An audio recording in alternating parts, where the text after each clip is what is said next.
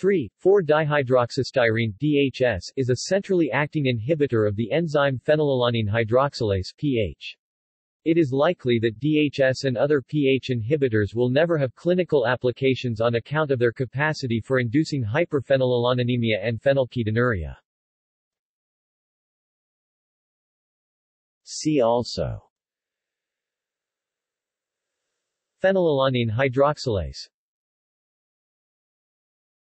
References